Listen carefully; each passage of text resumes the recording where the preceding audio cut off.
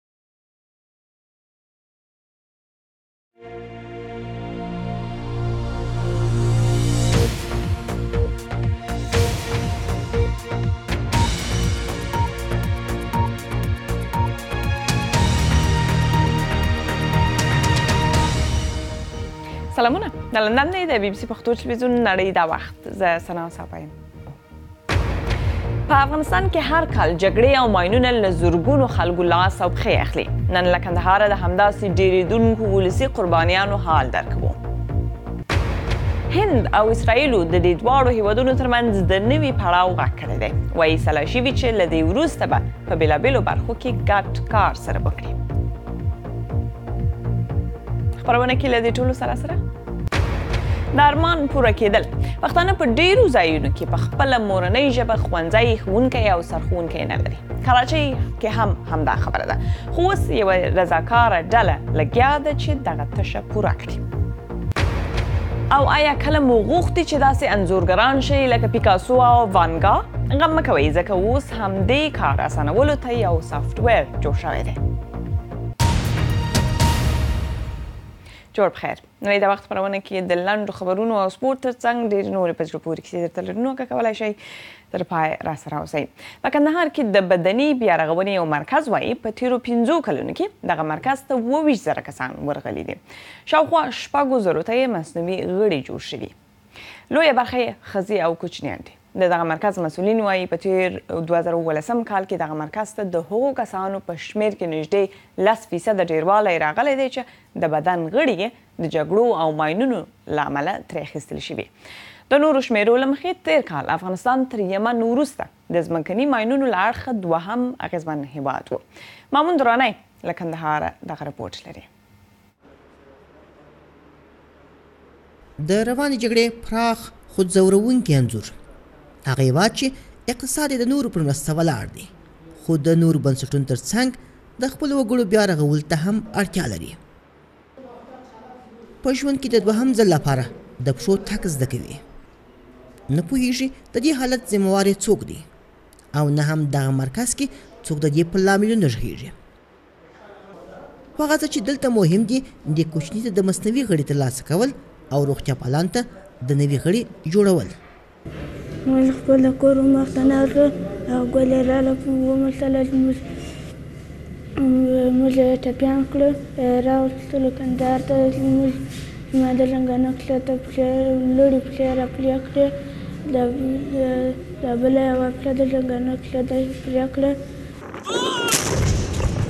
د کندهار دې څنډه میوند کې لا هم د کلونو راهیسې جګړه روان ده پرته له دې چې ګټونکي او بایلونکي معلوم سي خو پایلې پراخه وراني او هر کال د سلګونو کسانو مایوبه وي له جګړې د اغېزمن سوو کسانو رغاونه دلته کیږي دغه مرکز د هینډیکپ مرستندوی موسسې په مالي مرسته په تیرو پنځو کلونو کې شپږ زره کسانو ته د بدن مصنوعي غړي جوړ کړي دي. په دوه زره اوولس کې موږ ته تر نورو کلونو زیات مریضان راغلي دي او د تیر کال په پرتله سږ کال نهه فیصده اضافه دول ښيي او کوم مریضان چې موږ ته رجوع کړې ده په دا څو کلونو کې د دې تقریباً درې دېرش فیصده کوچنیان دي، پنځه ویشت فیصده یې ښځینه دي او متبقي نور یې نارینه دي. د یو راپور له مخې افغانستان کې هره میاشت سل تنه د وسله وال د ښخ کړل شویو ماینونو قرباني کېږي، خو دلته د یو مصنوعي غړي جوړول او ځای پر ځای کول لږ تر لږه پنځلس ورځې وخت اخلي.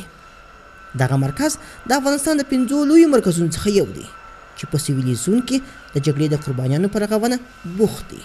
په حدودو کې د پنځوسو نفرو کارمندانو د دې کار کوي، پنځوس نفره په دې کې په دغه پنځوس نفره کې شل فیصده یې معلولین وروڼه دي. دوی په حدودو کې د لس زره چې په اصطلاح مصنوعي غړي او استنادي وسایل، او هم بایسکلان د معلولینو او واکینګ ډیډ چې دا لکړې ورته وایي دا د کانه څخه ترمیم او تولیدوي. دلته د یوې مصنوعي پښې پر جوړولو شاوخوا سل امریکایي ډالر لګیږي. د نورو هیوادونو پرتله لږ خو د افغانستان په څیر هیواد لپاره دروند بار دی. پر افغان حکومت تل د فساد او ضعیف ادارې له کبله سختې نیوکې کیږي. اوس تمه کیږي چې دغه مرکز به په دوه زره نولسم کال کې افغان حکومت ته وسپارل شي، هغه څه چې د خلکو اندیښنې راپارولي دي. اندیښنه دا ده چې ښايي حکومت د دغه مرکز درنو لګښتونو ته نه یوازې دا چې اوږه به ورنه کړي، بلکې د ضعیف مدیریت له کبله به د اسانتیاوو په رسولو کې پاتې راشي. مامون درانی، بي بي سي، کندهار. پر همدې په کابل کې زموږ همکارې نجمه ځلا په افغانستان کې د ملګرو ملتونو د ماین پاکۍ د برخې له چارواکي حبیب خان ځاځي سره مرکه کړې ده او په سر کې یې ترې پوښتلي چې د ځمکني ماینونه اوس افغانانو ته څومره لوی ګواښ دی. باید وویل شي چې واقعا ماینونه او ناچاوده توکي یوه ستونزه ده په افغانستان کې چې هره ورځ زموږ افغان وګړو نه قرباني اخلي تر اوسه پورې زمونږ چې کوم زمونږ سره کومه ډیټا موجوده ده د ماینونو او ناچاودو توکو له امله ډیر زره درې سوه کسان تر اوسه پورې مونږ مړه او زخمیان لرو په دوه زره پنځم کې یو اټکلیزه یو سروې شوې ده هغه دوه اشاریه اوه کسه هغه ښیي ټوټل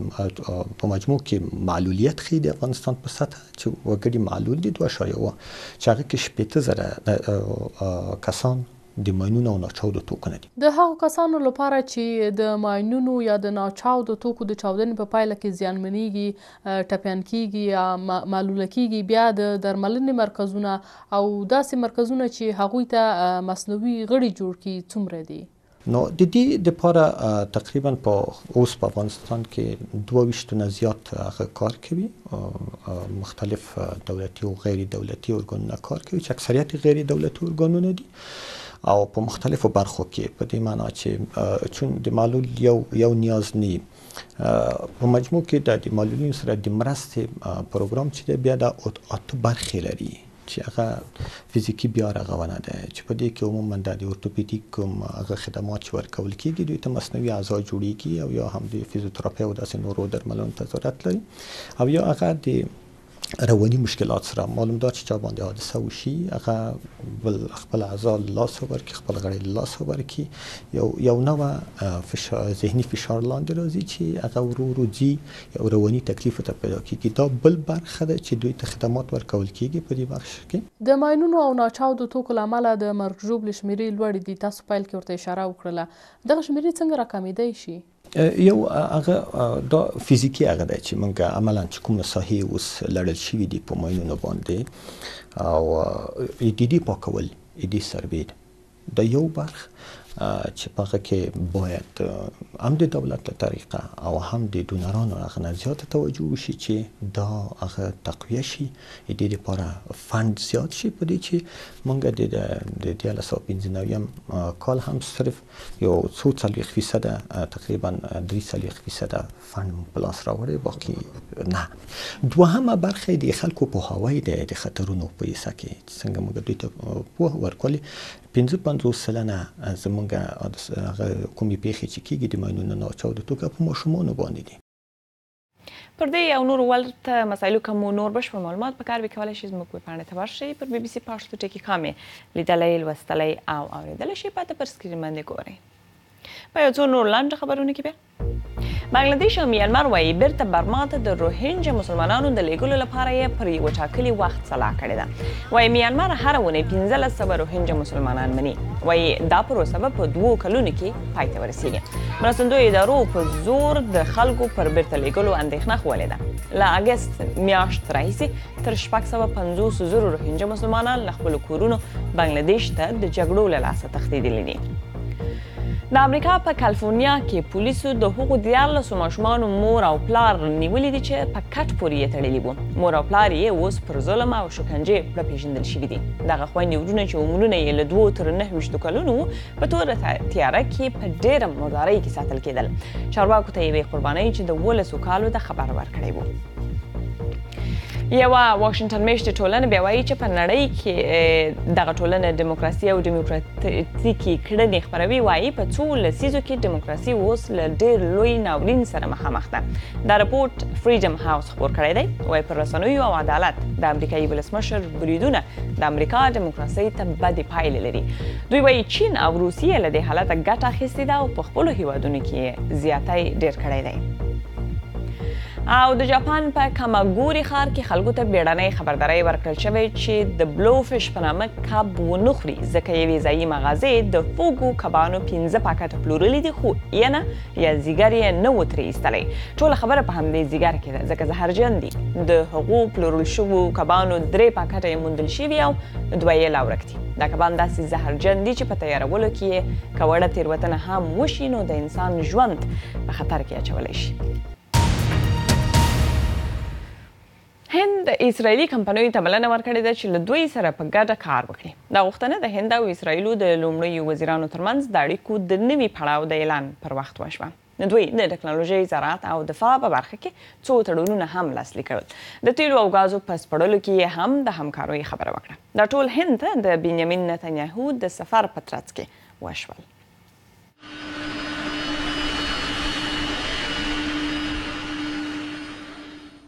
دواړه هېوادونه وايي چې دا یې د اړیکو نوی پیل دی او د خوښۍ څرګندونه یې په بیا بیا وکړه.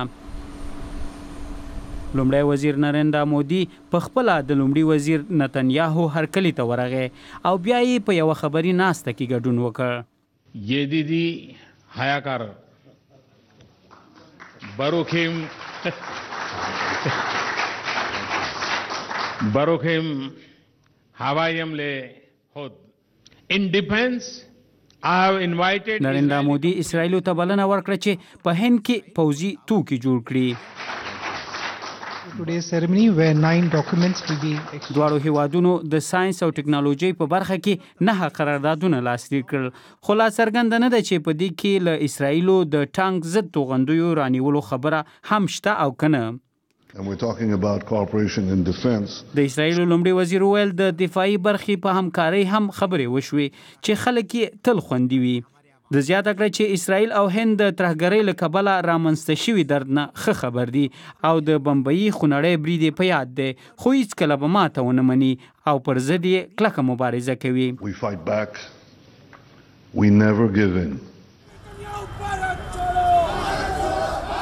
د نتنیاهو له راتګ سره ټول هندیان همغږي نه دي. اسرائیل کې جو پردان منتري هين انکو جس طریقې یہاں پر سواګت په کوم ډول چې د اسرائیلو د لومړي وزیر هرکلی وشو مناسبه نه وه. ځکه دوی په فلسطین کې د خلکو وینې تویوي. ان لوګو یې لوګ ایک خون کې پیاسه کی طرح کام کر رہے ہیں فلسطین کو آزاد کرو هند تل د فلسطین ملګرتیا کړې او حکومتي تګلاره یې دا ده چې دغه مسله دې د دوو جلا هیوادونو په جوړولو حل کړل شي خو په هند کې اوس ځینې خلک په دې باور دي چې د بي جي پي حکومت اسرایل ته سر ټیټوي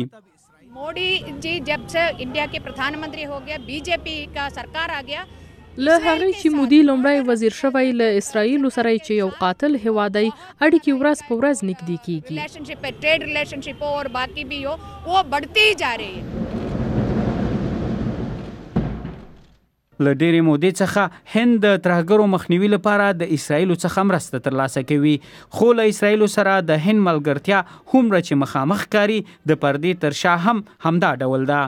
ځکه دلیل یې د منځني ختیځ د سیاست مجبوریتونه دي.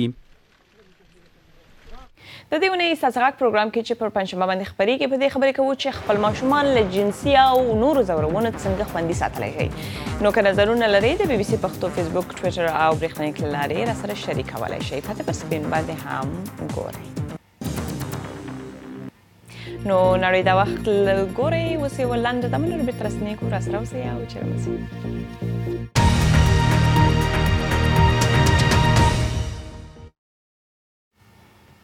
په لندن کې د بي بي سي پښتو نړۍ د وخت یو ور بیا ستړي مشي د نن د سر خبرونه مو دي په کندهار کې د بدني بیا رغونې یو مرکز وایي په تیرو 15 کلونو کې دغه مرکز ته 22 زره کسان ورغلي دي شاوخوا شپږ زرو ته یې مصنوعي غړي جوړ شوي او هند او اسرائیل د دې دواړو هیوادونو ترمنځ د نوي پړاو غږ کړی دی وایي سلا شوي چې له دې وروسته به په بېلابېلو برخو کې ګډ کار سره وکړي.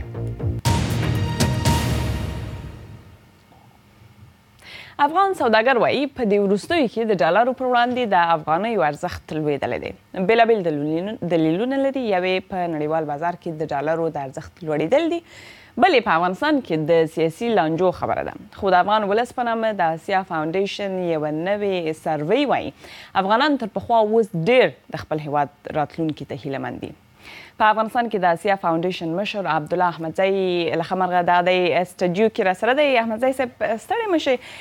د افغانانو دغه د افغانیو ارزښت لوړېدل یوه خبره ده، سیاسي لانجې بله، نور مشکلات دي، افغانان څنګه په دغه حالت کې هیله من کېدلی شي؟ مننه صافی صاحب لومړی خو که دغه تیرو درې کلو ته وګورو د ملي یووالي د حکومت له ایجاد نه را په دې خوا د خلکو هغه خوشبیني نسبت راتلونکي ته یا هیلمندي ډېر که په هغه عامه اصطلاح وایو مخ په زوړي روانه وه ډېر منفي جهت خپل کړی وو نو په 2019 کال کې حد اقل یو څه ناڅه ثبات په دغه خوشبیني کې رامنځته سو یعنې نوره ښکته نه شوله د خوشبیني سطحه او عمده دلیل یې که مونږ د جواب ورکوونکو هغه ځوابونو ته وګورو نو هغوی دغه بیا بیا رغونې کارونه او مثلا امارتونه یا مکاتب یا مثلا مساجد دیو ته اشاره کړې ده چې دا عمده دلیل دی چې ولې موږ فکر کوو افغانستان یو بهتر مسیر لوري ته روان ده خو په څنګ کې بیا متاسفانه یو شپېته سلنه خلکو دا هم ویلي دي چې دوی فکر کوي یعنې د د دې وطن مسیر په مثبت لوري نه دی روان په غلط په غلط لوري روان دی نو که دا به ډیره خوشبینانه برخورد وي له دې ډیټا سره که مونږ وایو چې یعنې د راتلونکي په اړه د خلکو نظریات ډیر مثبت دي، لیکن د تیرو کلونو درې کلونو په پرتله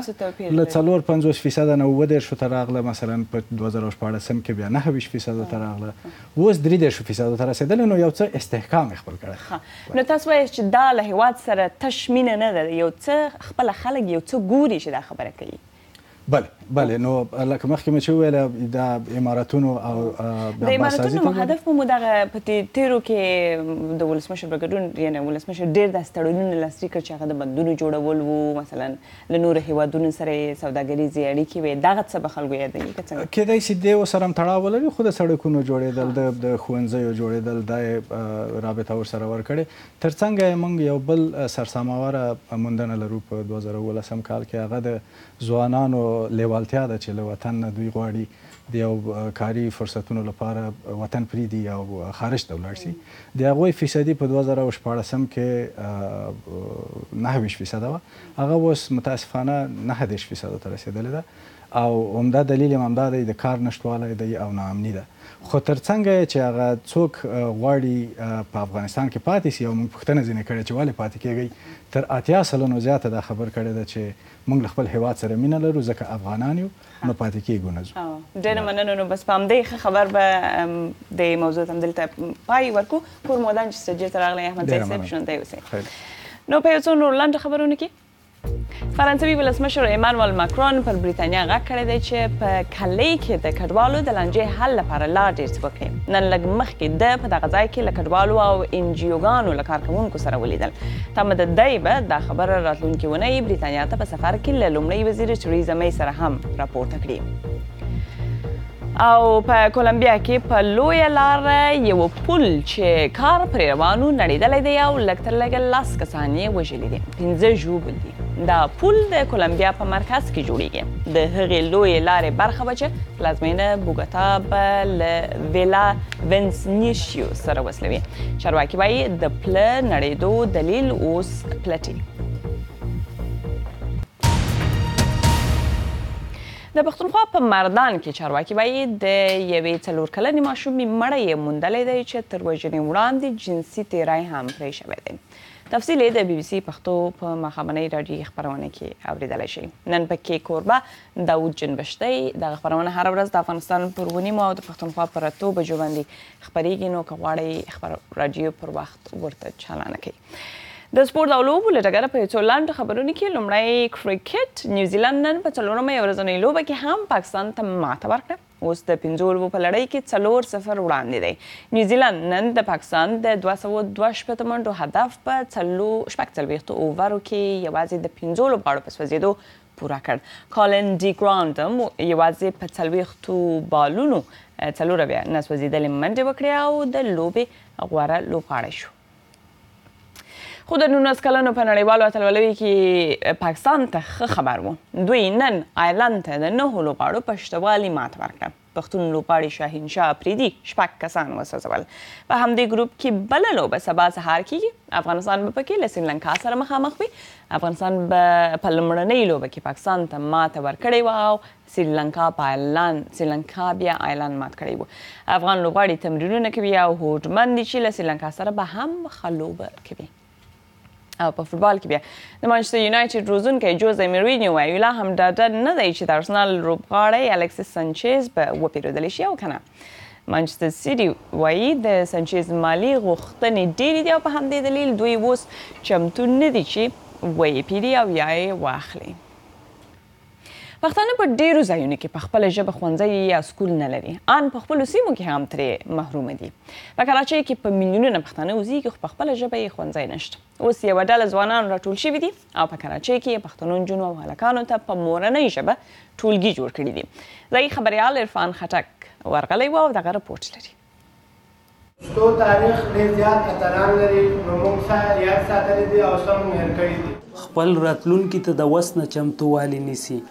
ځکه پوهېدلي چې تعلیم به یې د سیالانو سیال کړي. کراچۍ کې دې پښتنو زده کوونکو ته د زده کړې زمینه داسې پښتنو له خوا برابره شوې، چا چې خپله لوړې زده کړې کړي او نه غواړي نور پښتانه د تعلیم یا علم رڼا نه بې برخې پاتې شي. ابن سینا په نوم جوړ دې خریايي تعلیمي ځای ته ماسپښینه تر ماښامه شا و خوا هغه درې سوه زده کوونکي زده کړې لپاره ورځي چې د ورځې هم ښونځیو ته تګ کوي. دلته هغه پښتانه زلمي هم تر سترګو کېږي چې له تعلیمه بې برخې پاتې شوي خو وس یې زده کړو سره مینه پیدا شوې او په ژوند کې یو څه زده کول غواړي. زه په نم جماعت کې هم دلته ما ته ډېر سبق راشي اوله به زه بل ځای رتلم او ورې به ما پیسې ورکولې دومره ښه به نه راشو دلته موږ پښتانه استادان ډېر ښه راشي او زه دلته ډېر خوشحاله یم دلته موږ ته تعلیم سره دیني تعلیم هم راکوه زه دلته اکیلن راځم ما سره نورې ملګرې نیم دي او زه دلته ډاکټر جوړېږم د دې خیریایي تعلیمي ادارې جوړونکي وایي چې موخه یې پښتانه ماشومان او ځوانان له نشو او بدو کارو ساتل او هغوی ته تعلیم په هکله پوهه ورکول دي. دوی داسې پښتانه زلمو په راوستو هم بریالي شوي چې د ورځې په وخت کې کار کوي او ماښام د زده کړو لپاره د دوی ځای ته ورتګ کوي. د ابن سینا ایجوکیشن فاونډیشن ادارې بنیاد کیښودلو واحده مقصد پښتنو ته خدمت کولو نو خدمت کولو دپاره تعلیم هغه واحده ذریعه وه چې موږ ښه خدمت کولی شوی. ولې چې پښتانه په تعلیم کې ډېر شاته پاتې دي. موږ به پیرنټس او هغو دې وړو هغو به موږ ته څه ریسپونس نه راکاوه، خپل واړه به موږ ته نه رالیږل، خو له وخته سره موږ خپل مشکلات حل کړل او خپل مقصد هم ترلاسه کړو. که څه هم دغه خیریايي تعلیمي اداره د هر قام ماشومانو او ځوانانو تعلیمي ستونزې له منځه وړلو لپاره پیل شوې، خو وس مهال پکې د پښتنو زده کوونکو ونډه ډېره ده، دلته پښتنې نجونه هم په زده کړو بوختې ليدلی شو. A for aeroplane A for aeroplane Aeroplane means الوتکه Aeroplane means الوتکه. ښوونکو ته یې میاشتنی معاش ورکول، د ځای میاشتنۍ کرایه، بې وسه زده کوونکو مالي مرستې کول او داسې نور هغه څه دي چې د دې ادارې اتلس پښتنو ځوانانو پر خپله غاړه اخیستي. نو خپرونه مو په همدې رپورټ پای ته رسیږي تر بلې هغې چې بیا درسره مله کیږو ښه وخت ښه شپه او هر چی چې یاست ارامه خوشحاله او خوندي اوسئ